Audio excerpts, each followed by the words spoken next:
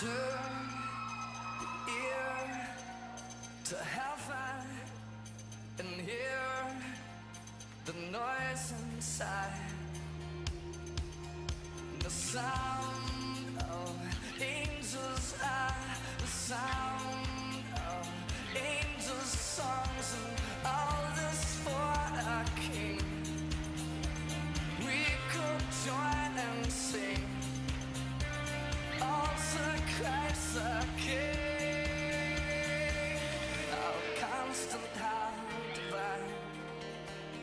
the.